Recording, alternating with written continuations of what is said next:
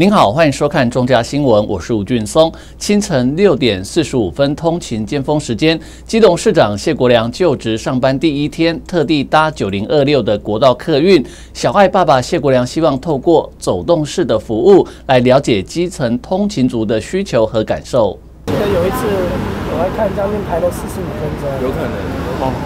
这是人们希望算是平常会有时间对啊，对啊。基隆市长小爱爸爸谢国良跟着通勤族一起排队等车聊天，一行五个人。为了不妨碍上班族，他还特别先礼让赶上班的民众先上车，等待下一班车比较有空位，他才上车。九零二六这个是基隆最重要的通勤路线之一，那大家也都很关心。那后来我们也透过民众了解到，现在九零二六开始会。从一高下戏子去停戏子的几个站，然后最后目前是只有到南港展览馆，没有进南港站。那我觉得这个对通勤朋友，他们毕竟还是很关心他们的通勤权益啊受到重大的改变，所以我们今天特别邀请了我们交通处的王处长，还有我们中发处的林处长林立常委员哈。来跟大家一起来搭乘啊这个路线，然后来了解一下。那非常感谢这个王处长吼，他第一线就像我们说的，都要跟民众行的问题要站在一起。所以据他了解，现在的九零二六还是仍然在积极协调中。那我们也希望有一个好的结果。那当然这个要大家通力来努力，包括业者、交通部。啊，国会办公室还有市政府，那有需要我们的地方，我们一定会积极的来协助。那我们后来有透过交通处的王处长，他可以跟大家比较清楚的说明。我们也了解到说，为什么不停这个南港站是有一些南港站需要一些费用的关系，所以我们现在能比较了解，现在问题是出在费用的问题，但是费用的问题不应该影响到民众搭乘的权益，所以我们还是希望。大家一起努力来化解这个问题，这样子。呃，我现在也蛮早就起来会念圣经祷告，所以起得也算比较早。哦，那我们如果一有需要，我们不是一天到晚都要在外面，但是一有需要，我们就要在外面啊，跟大家多了解一下大家每天碰到的情况。啊，我跟王处长啊，还有林处长都有这样的认知，就是只要大家，尤其是在通勤方面。只要通勤方面有哪一些需要我们关心的，我觉得我们就会想要立即到现场去了解一下。那九零二的问题就是有问题还没有解决嘛？哦，所以我我希望大家一起来了解一下九零二六的状况，然后我们能够尽快解决这样子。当地的英安里里长几乎每天都要来这边当志工，协助通勤族上车跟过马路。他也提出了他的观察，大概是七点到七点四十这个时间哦，就等很久。而且没有车辆来，他从金山那边就开始出来骗名额，这是最后第二站，后面还有一站，大概会留三个位置。现在目前目前大车族他最不能理解，就是说明明有位置，然后不给上，司机大哥不给上。基隆大约有十万人，每天都要通勤工作赚钱养家，花费将近三个小时的时间来回奔波。谢国良上工第一天的起手式，就是以同理心来体验通勤族生活，希望让他们减少通勤的不便。未来的目标还是要增加在地就业，让通勤族逐渐减少。记者黄日升、陈淑平，基隆报道。机动市长小爱爸爸谢国良这次也特别邀请交通处长王俊宏跟中发处长林立传一起来体验九零二六通勤过程，希望市政府团队能够基于同理心，帮助解决通勤族的问题。今天是小爱爸爸第一天啊的上班日啊，那我现在其实，在客运上面了，大家应该可以看得出来，我们现在在一高上面。那我现在就是在九零二六上面，因为我们九零二六最近啊，这个因为有调整了路线，那现在呢会增停。戏子那边有大概有四个站左右，然后终点站现在又不进南港车站，直到南港展览馆。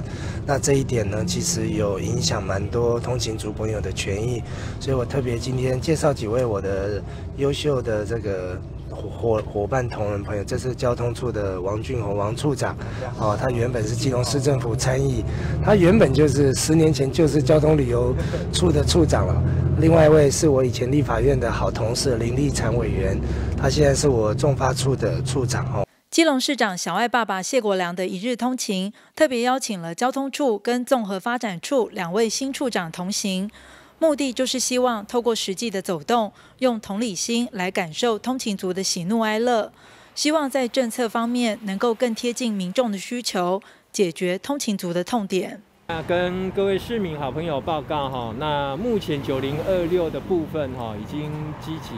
好在协调，大概应这个星期应该会有比较确定的一个方案能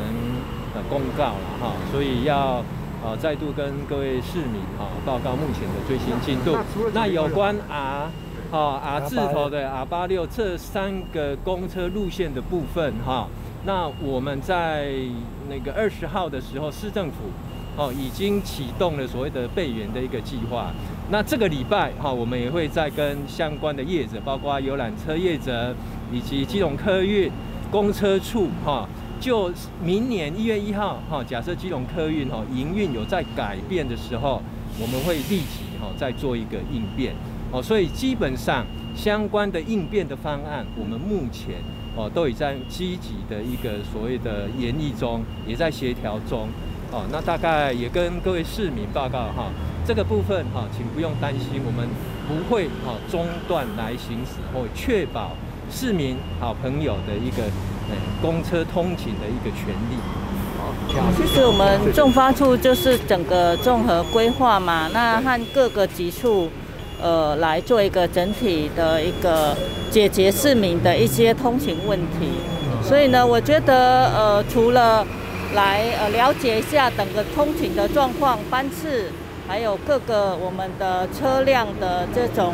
呃停靠站的一个问题，我觉得。呃，来了解之后，我们会整体性的去规划。那希望说可以去解决市民在通行方面的一个不便，不管是就学、就业，还是可能呃到呃就是到外面的朋友们，我觉得这块都是我们需要了解。透过现场的观察，不难发现，谢国良的市政团队希望秉持着接地气的理念，用同理心来规划政策，才能够及时的解决民众的需求。相信这将是市民之福。记者黄日升、陈淑平基隆报道。北北基桃首都生活圈，只有基隆不是直辖市。为了基隆的发展与各项建设的争取，提升市民的权益，谢国良市长在上任后第一次的事务会议后表示，将由民政处与公务处纳入民意考量，一起来推动，让基隆升格为直辖市。将从合并升格或其他方向来思考推动。基隆要争取成为直辖市的这个议题，我想要来跟各位报告。因为长久以来，基隆就是因为在整个北北基，甚至北北基桃一千万的人口里面，唯一三十几万是没有纳入直辖市的。那没有纳入直辖市，它在整个待遇上，它在整个市民的享有的一个权利上面。我觉得有受到了一些损害，所以包括我们也看到林佑昌林前市长在他的任内也曾经提过北海市相关的规划，所以我认为说，在基隆市未来的发展，让他能够有直辖市的一个待遇，我觉得是刻不容缓的一件事情。所以我在第一个市政会议上面。其中过去也在我的竞选的过程中，都有提出基隆市一定要变成直辖市或是直辖市的一部分，对于基隆市的市政发展才会有真正的帮助。那我今天在市政会议上，我也这个请我的民政处张元祥张处长啊，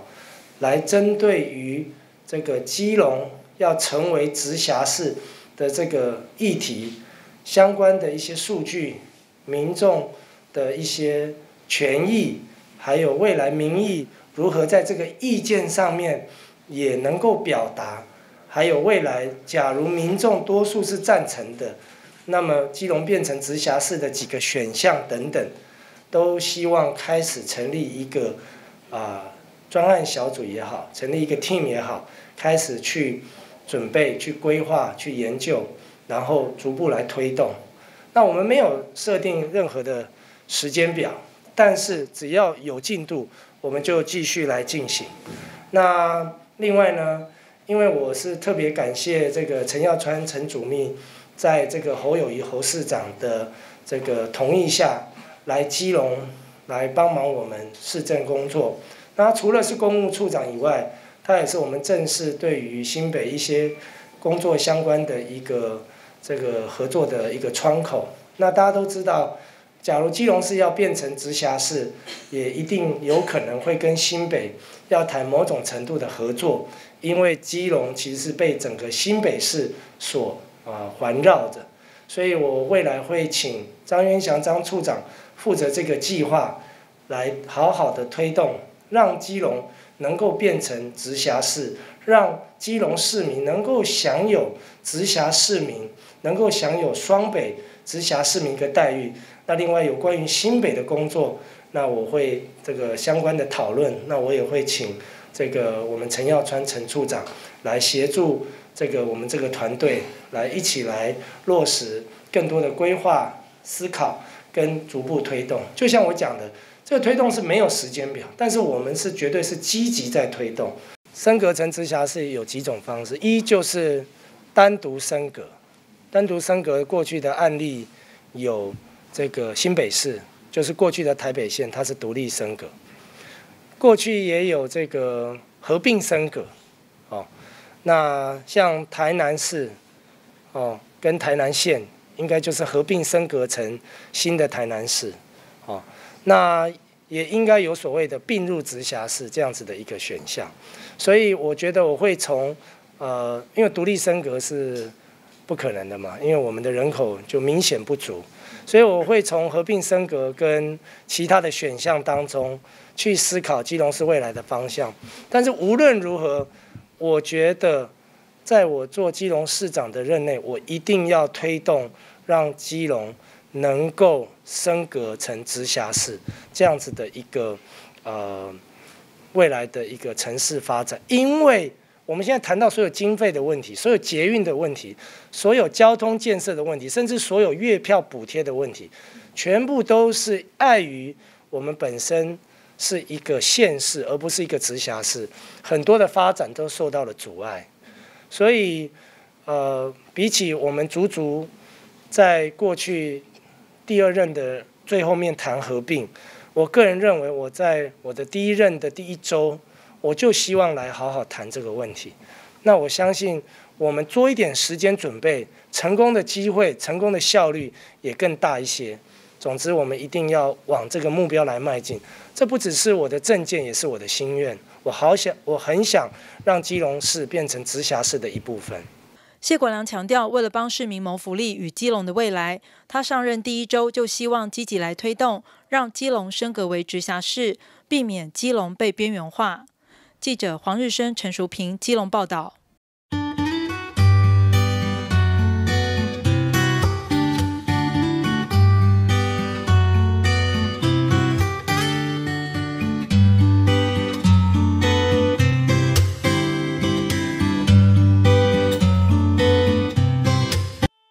打开请安问好哈，谢谢谢谢，好加油哈，谢谢哈。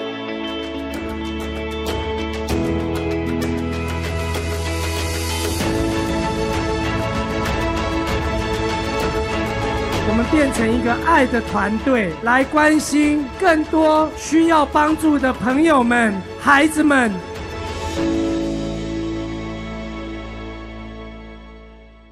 终于可以解任务喽！什么？没 WiFi？哎呀，哇！没 WiFi，这里是一到厕所，你家就像 WiFi 孤岛。还好有中加宽屏，有了 Mesh，WiFi 穿透力更强，隔间再多也不怕，让你在家上网无死角。WiFi 黑洞终结者，中加宽屏。搭配 Mesh 上网神器，最低只要七九九元起，现在就办中加宽屏。最后一集终于上了，波西波，没有 WiFi，我的 WiFi，没 WiFi，这里是我在哪？一到阳台，你家就像 WiFi 沙漠。还好有中加宽屏。有了 Mesh，WiFi 范围超广，距离再远也不怕，让你在家上网无死角。WiFi 黑洞终结者，中加宽屏，搭配 Mesh 上网神器，最低只要七九九元起，现在就办中加宽屏。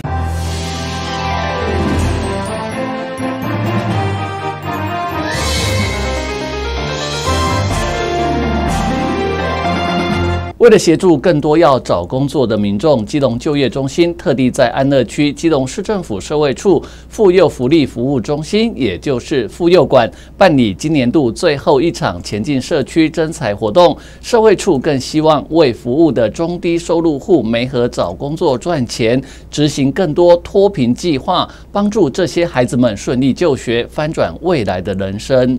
求职找工作的民众逐一进入面试，对于能够就近在妇幼馆这里找工作，民众觉得很方便。就算不是在这里举办，只要有就业媒和找工作的机会，对他们来说就已经很感恩了。我我闲不住啊，在家里做也很很很辛苦呢。没有工作，那就是时间很难过啊。就就这样子啊，就出来啊找找看呐，搞不好运气好有碰到。有有适合的工作，来这边，因为你自己是本身就住安乐区，所以来这边算方便，是不是？是方便的啊！如果把我调到那个仁爱区啊，别的区也没关系，但做做这只要有工作就好，我不不影响说是什么坐车的时间啊什么没有，我可以提早出门啊。对，有工作最重要。对，有工作最重要。为了协助更多要找工作的民众，基隆就业中心特地进入社区，在安乐区基隆市政府社会处妇幼福利服务中心，也就是妇幼馆，办理今年度最后一场前进社区征才活动。明年四月左右将举办一场更大型的就业博览会。我们今天邀请到五家不错的厂商前来，那现场大概提供了一百五十七个职缺。那大约有作业员啊、工程师，好，还有这个保全人员、储备干部，好，还有这个仓储，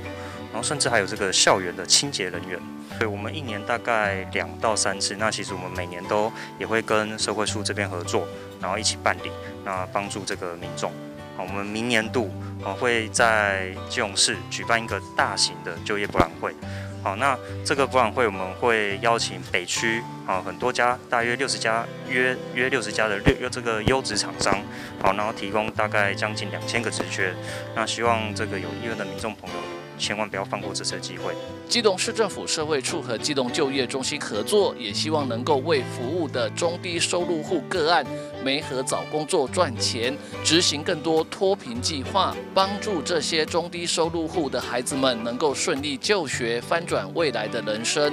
服务的部分，常服务到一些弱势、经济弱势的家庭。那这些家庭，我们就会除了就是第一点，我们可能会引荐他们过来这边做一些就业媒合的服务以外，那第二点，同时也是希望他们找到工作以后，那可以将一部分的薪水，那提拨到我们的额少发展账户，那给我们经济弱势的这些低收还有中低收的孩子，那提拨这一帮他们存一部分的钱，那同时我们政府也会提拨一部分的存款到这个专户中，那作为他们以后就业或是就学的基金。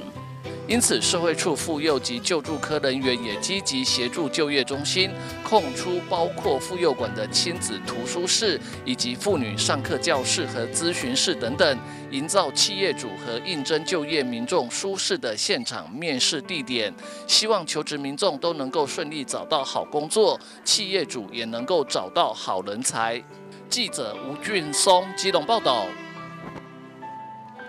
由于疫情期间采线上教学，学童接触平板等三 C 载具的时间拉长，为了协助学校加强学童的视力保健，国际福伦三四九零地区基隆分区九社联合社区服务，由新北北海岸福伦社主办，特别协助暖溪国小全面改善教室照明设备，让学童有一个健康用眼的学习环境。现在的学童身处三 C 时代，加上疫情期间线上学习，接触三 C 载具的时间更长。为了关怀学童的视力健康，国际福伦三四九零地区基隆分区九社联合社区服务，特别协助暖溪国小全面改善教室照明设备，由新北北海岸福伦社主办，基隆分区其他分社协办，一起为学童的视力保健尽一份心力。因为现在的都是三 C 的产品然后让小朋友眼睛好像有一点受损就比较严重，尤其是现在那个以前的那个日光灯比较昏暗，他们的那个以没办法说坏掉才能才能购买重新重新的换机的，所以我们就我们因为我们的 PE 它是在做这种灯灯具的。所以我们就想到说啊，来这边把他们的教室全部都换新，用 LED 跟环保，又可以节能减碳。我们也希望说，我们这个灯光改装以后，把这个照明，让我们的小朋友能够在这么好的环境下努力的学习，以后啊长大出社会，能够让你们换你们来做公益。来造福下一代、下一代的人，因为老旧设备，阿姨没有机会都没办法去改善哦。那我们社长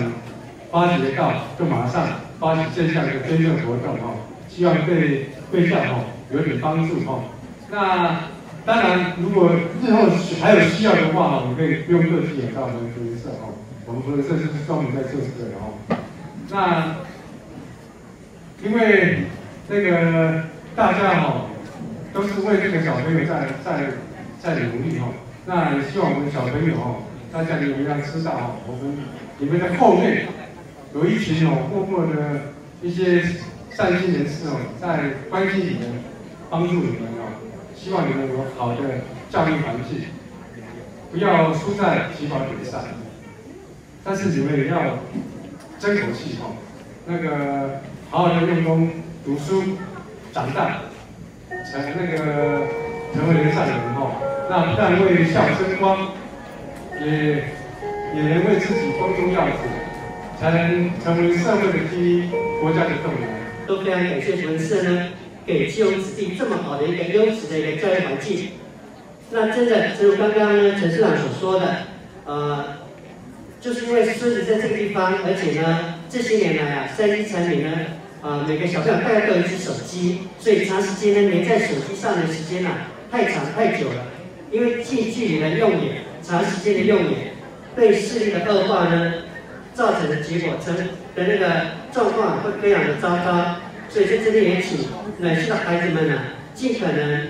不要长时间的使用三 C 产品。在国际福伦三四九零地区基隆分区的协助下，暖溪国小共换了一百六十二盏灯，三百二十四支 LED 灯管。暖溪国小校长说：“相当感谢福伦社的爱心与公益精神，让学童能有一个健康用眼的学习环境。”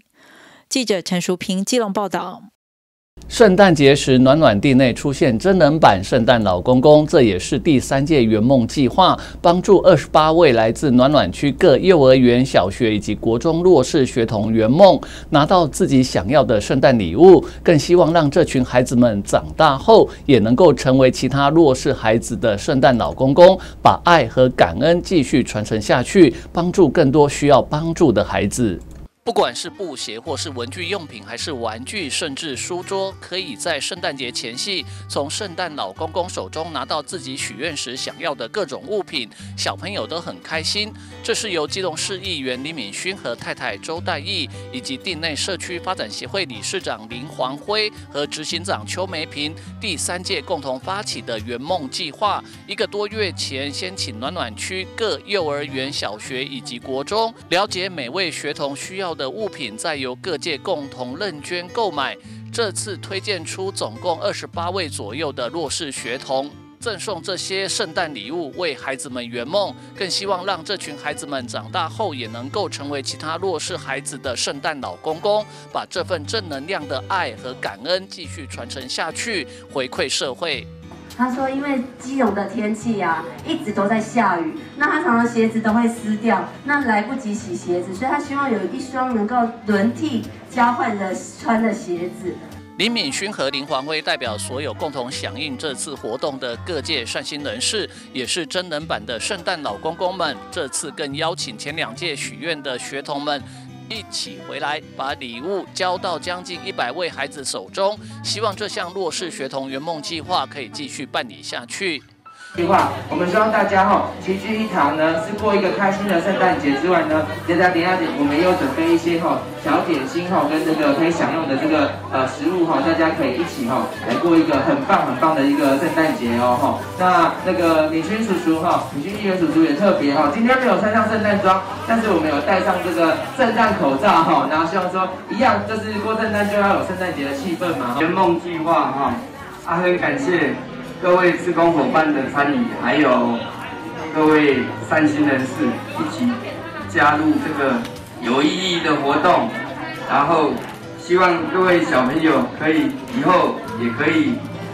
像这样，可以帮助有需要帮助的人。除了小朋友希望得到的礼物之外，在各界善心汇集下，每位孩子更额外获得手工缝制、独一无二的玩偶和点心等礼物。希望在湿冷的寒冬中，让这群孩子们和他们的家长都能够度过一个充满温暖和感恩的圣诞节。记者吴俊松机动报道。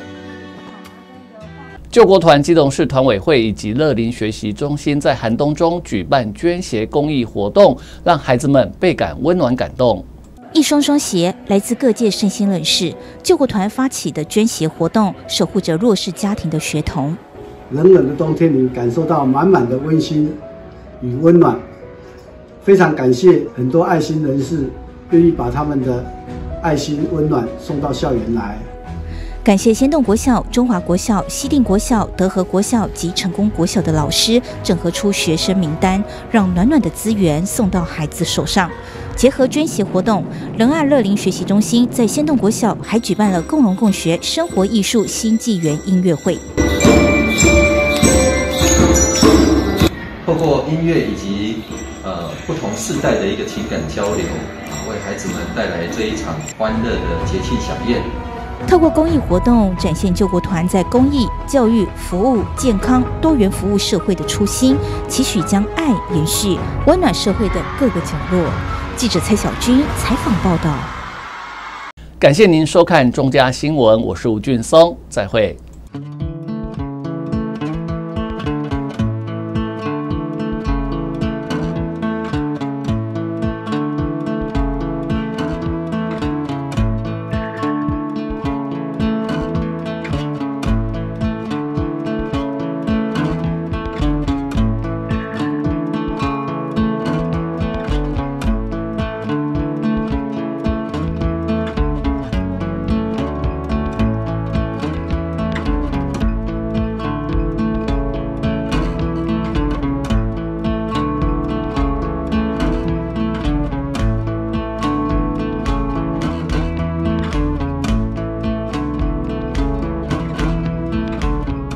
终于可以接任务喽！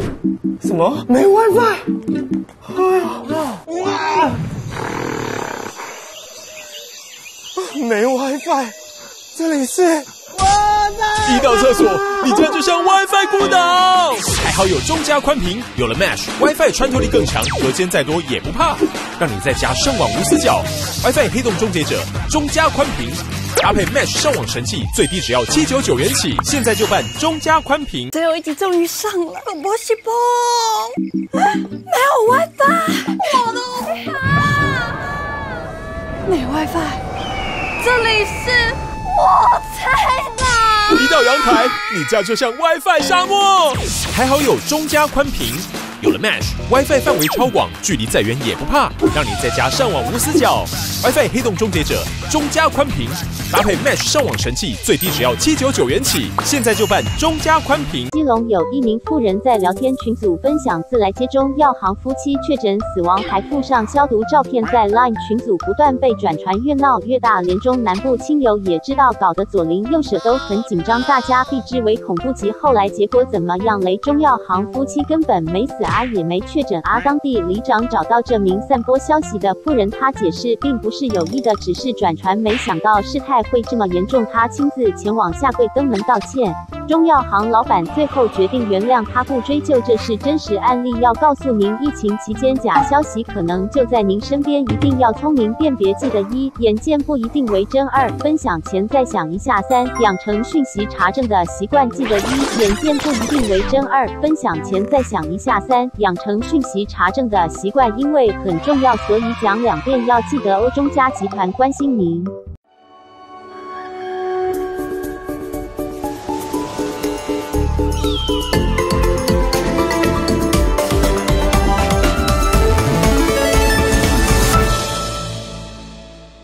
有人跟我告白，我拒绝他了。从那天开始，他每天出现在我附近，还会发很多奇怪的讯息，怎么办？别担心，从民国一百一十一年六月一日起，此类跟踪骚扰行为都属于犯罪行为，被害人可提出告诉，警方也会对加害人开出书面告诫。两年内再有跟踪骚扰行为，被害人可向法院申请保护令，违反保护令者可处三年有期徒刑。携带凶器者，最高可处五年有期徒刑。追求心仪对象，请尊重他人意愿，杜绝跟踪骚扰行为，请打一一零报案。内政部警政署关心您。